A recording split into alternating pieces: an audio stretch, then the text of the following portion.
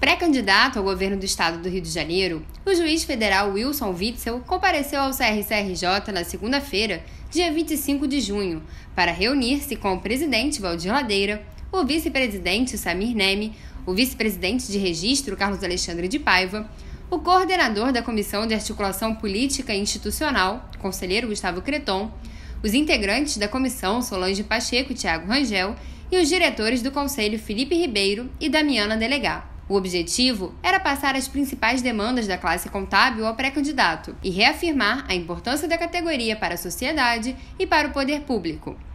O pré-candidato também apresentou algumas de suas propostas caso seja eleito. Confira na entrevista. Profissional da contabilidade é detentor do conhecimento técnico de gestão de patrimônio e controle financeiro. Isso foi reconhecido recentemente com a nomeação de um contador para a recém-criada Controladoria Geral do Estado do Rio de Janeiro. Diante da situação de crise econômica, financeira e fiscal, qual é a sua opinião no aproveitamento do profissional da contabilidade na gestão do governo?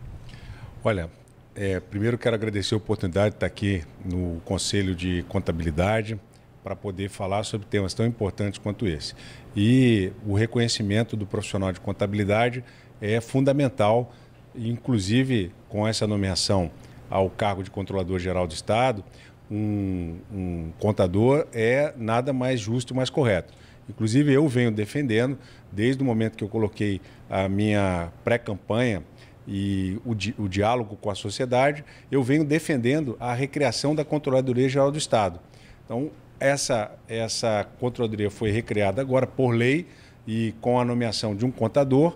Eu acredito que fica, assim, uma responsabilidade para o próximo governador de não só é, trabalhar com essa controladoria num nível de gestão acima das secretarias, mas fundamentalmente né, dar a essa controladoria condições para ela continuar trabalhando. Então, isso nós faremos. Né? É um, algo que já está no meu programa de governo e que os, a Controladoria Geral do Estado, hoje que tem algo em torno de 300 auditores, eles serão bem empregados, vão fazer o trabalho deles para que nós possamos ter transparência nas contas públicas e a Controladoria pode sim ajudar nessa transparência, que hoje não existe, e eu tenho certeza que esse órgão, no nosso governo, ele será um órgão que vai estar acima das secretarias, eh, juntamente com a, a Secretaria de Fazenda, ajudando no controle das contas públicas e com dotação orçamentária para que ele faça o seu trabalho.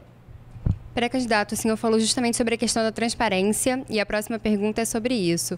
O governo do estado do Rio de Janeiro ainda não pratica a transparência que a legislação impõe e que a sociedade tem cobrado. Em sua opinião, como poderia evoluir esse aspecto? A transparência tem que ser total. O, o contribuinte tem que ter acesso a cada pagamento do Estado, a cada nota fiscal. Então, isso nós vamos dar total transparência. Cada prego que for comprado no Estado do Rio de Janeiro vai estar à disposição do contribuinte. É, nós hoje você não tem acesso aos, aos pagamentos, né, aos processos de pagamento. Então, nós vamos dar total transparência, inclusive com uma controladoria agora ativa. Essa controladoria vai ter acesso a esses, essas informações e vai, evidentemente, é, saber quanto custa cada prego no estado do Rio de Janeiro. E essas informações estarão à disposição do cidadão. Hoje você não consegue. Hoje a gente não sabe nem quantos são os funcionários do estado. Né? Você é, vai no site da Secretaria de Educação, vai no site da Secretaria é, de Transportes, você não sabe quantos são os funcionários. A gente sabe quanto a gente gasta para pagar né, essa quantidade de, é, de serviço, mas a gente não sabe como nós estamos pagando. Então é preciso dar transparência total. Cada prego do Estado do Rio de Janeiro precisa ter a sua é, transparência total para o contribuinte. Na sua visão, como o Estado do Rio de Janeiro pode se recuperar financeiramente diante da grave crise que ultrapassa? Eu costumo dizer que o Estado do Rio de Janeiro tem jeito. Veja que vários são é, os pré-candidatos querendo assumir a gestão do Estado do Rio de Janeiro. Exatamente porque o Estado do Rio de Janeiro tem jeito. Agora, é preciso que haja responsabilidade na administração do que está por vir aí. O Estado do Rio de Janeiro tem muito potencial. Agora, com a produção do pré-sal, vamos receber muito dinheiro do royalties do petróleo. Dinheiro esse que virá num nível elevado, como foi antes de 2014. É, eu acredito eu que mais de 40 bilhões de reais em royalties do petróleo, onde esse dinheiro precisa ser bem utilizado. É, nós não podemos continuar fechando escola, não podemos ter essa dificuldade que nós temos hoje no atendimento de saúde, com todo esse dinheiro que vem por aí. É preciso fazer o, bem, o bom uso desse dinheiro, é preciso reescalonar a dívida, nós vamos ter que rever a lei de recuperação fiscal que foi feita nesse governo. É uma lei muito ruim, coloca muitas sanções para o Estado do Rio de Janeiro, inclusive com aumento de carga tributária, com uma reforma administrativa que vai pesar nos ombros do servidor público. E eu tenho dito, a conta da corrupção não pode ser paga nem pelo servidor público e nem pela sociedade. Tem que ser paga com competência, com gestão. E isso nós temos como fazer. Vem dinheiro aí com os fundos do royalty do petróleo e também a receita do Estado, que deve aumentar com a melhora da economia do nosso país e especialmente do Estado do Rio de Janeiro. É preciso usar esse dinheiro com sabedoria, com consciência, com responsabilidade. Nós não podemos mais ter aventureiros governando o Estado do Rio de Janeiro. O Sérgio Cabral, nos anos de governo dele, ele aumentou a dívida do Estado, dobrando essa dívida. Ele tinha uma dívida de 40 bilhões que ele herdou, ele fez mais 80 bilhões de dívida, que hoje nós temos 120 bilhões de reais para pagar e afundou o Rio Previdência. O Rio Previdência hoje tem problemas gravíssimos, mais de um bilhão de reais todo mês para aportar no Rio Previdência. E não diversificou a carteira do Rio Previdência. Hoje não se tem um, um, um planejamento financeiro do Rio Previdência para garantir as, as, aposentadorias futuras.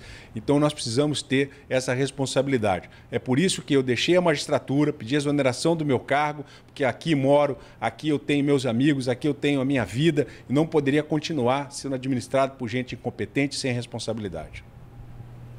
É, os profissionais da contabilidade são fundamentais para a arrecadação dos tributos no Estado, por serem a ponte entre o empresariado e o Estado.